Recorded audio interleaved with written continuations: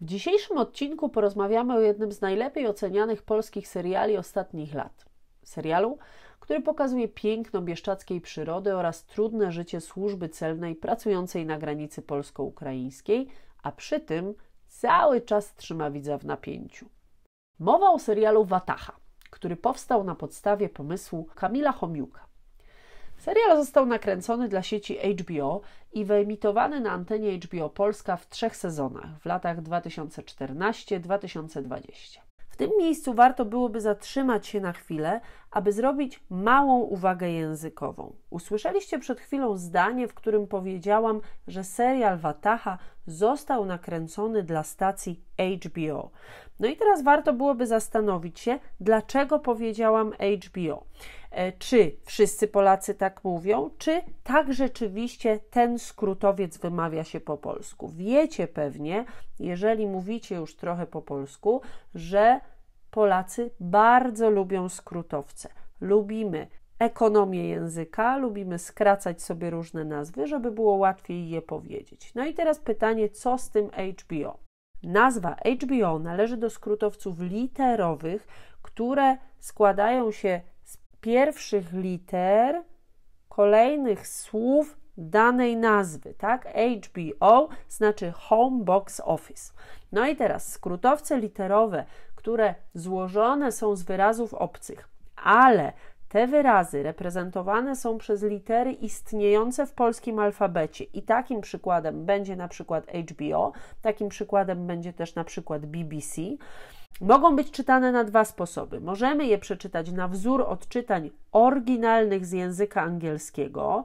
E, będzie się tak działo szczególnie w przypadku osób, które znają język angielski, czyli będziemy mówić HBO i BBC, ale ale zwróćcie uwagę, kiedy będziecie rozmawiali z Polakami, że często te skrótowce będą też wymawiane zgodnie z polskim alfabetem.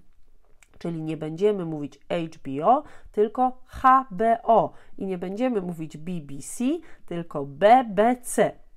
Myślę, że jest to ważna ciekawostka językowa. Warto by było też zwrócić uwagę, że są takie skrótowce, wyobraźcie sobie, które pomimo tego, że ich nazwa składa się z obcych wyrazów, czytane, wymawiane są wyłącznie zgodnie z polskimi nazwami liter w alfabecie. I takim przykładem jest skrótowiec WHO, czyli Światowa Organizacja Zdrowia, czyli z angielskiego World Health Organization. Tego żaden Polak nie przeczyta zgodnie z angielskimi nazwami liter. Jeśli chcecie dowiedzieć się więcej na temat skrótowców, to zajrzyjcie do książki Śląskie Ścieżki Filmowe do rozdziału o Macieju Pieprzycy. Tam wszystko, co chcielibyście wiedzieć na ten temat, a teraz wracajmy już do serialu Wataha. Jest to serial kryminalno-sensacyjny nowej generacji seriali, które sposobem kręcenia, montażu czy kompozycji przypominają raczej produkcje kinowe i to dobre produkcje kinowe niż klasyczne seriale telewizyjne. Zresztą wszyscy wiemy, że to właśnie zasługą HBO jest wejście na salony takich właśnie seriali. Fabuła filmowa to historia tytułowej Watachy. Słowo Watacha w języku polskim ma szczególną odmianę. Powiecie, to jest Watacha, ale mówię o Watasze. Co oznacza to słowo? Oznacza ono grupę wilków. Wilki, jak wiecie, żyją i polują w grupach, czyli właśnie w watachach.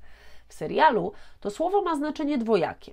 Pojawiają się tu oczywiście wilki, w końcu akcja dzieje się na dzikich terenach polskich gór Bieszczad. Ale watacha ma tu również znaczenie metaforyczne. Wilkami, które tworzą watachę, jest grupa strażników granicznych. Tak siebie nazywają. W końcu, jak wilki, działają zawsze w grupie.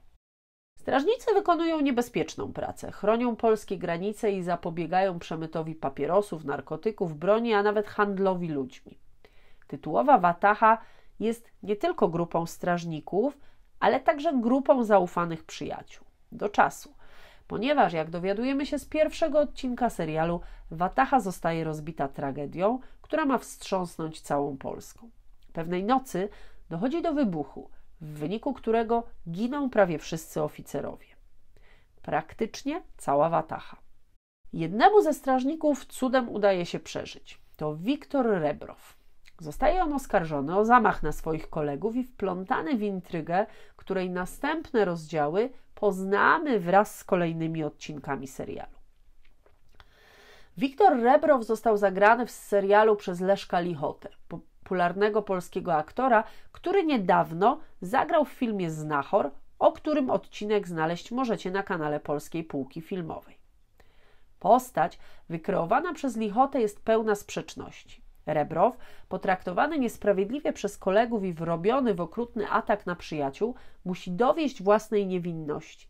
W tym celu sam zaczyna prowadzić dochodzenie i odkrywa kolejne dowody świadczące o tym, że sprawa zamachu ma wymiar nie tylko lokalny, ale ogólnopolski, a nawet międzynarodowy. O co tu chodzi? Zapraszam Was do doświadczenia na własnej skórze przyjemności odkrywania kolejnych kart tej zagmatwanej historii. Na pewno nie pożałujecie. Ważnym aktorem w serialu Wataha jest bieszczacka przyroda. Zdjęcia były realizowane w polskiej części Bieszczadów Zachodnich, m.in. w rezerwacie przyrody Sinewiry, kamieniołomach Gruby i Drobny, w dawnej wsi Rabę czy na moście na Sanie w Huzelach. Ciekawostką jest to, że po sukcesie serialu miejsca te są o wiele chętniej odwiedzane przez turystów. Szczerze mówiąc, myślę, że jeśli obejrzycie serial Wataha, to też będziecie marzyć o tym, żeby pojechać w Bieszczady. W serialu widzimy, jak Bieszczady zmieniają się w każdej porze roku. Widzimy śnieżną zimę i wiosenną zieleń bieszczadzkich drzew, potem letnie, słoneczne tereny gór oraz złotą polską jesień.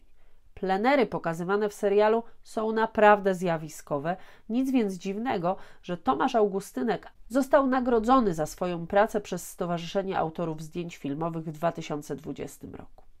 Oprócz tego film nagrodzono dwoma orłami, czyli nagrodami przyznawanymi przez Polską Akademię Filmową.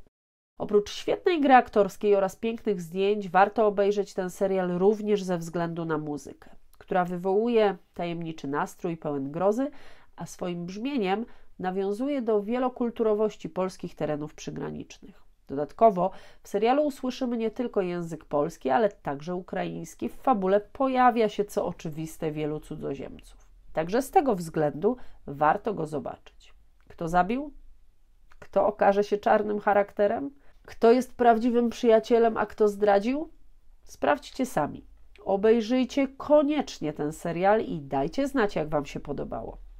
Tekst dzisiejszego odcinka przygotowała dla Was Monika Małyska-Moskal, prowadząca projekt Polski po prostu. Do usłyszenia w następnym odcinku cyklu Polski Film dla początkujących. Pamiętajcie, że różne ciekawostki związane z językiem i kulturą polską znajdziecie także w serwisie Facebook i Instagram oraz w innych filmach Polskiej Półki Filmowej. A jeśli chcecie wspomóc działanie kanału Polska Półka Filmowa, zajrzyjcie do serwisów Buy Coffee 2 albo Buy Me Coffee. Dzięki Waszemu wsparciu mogę robić jeszcze więcej.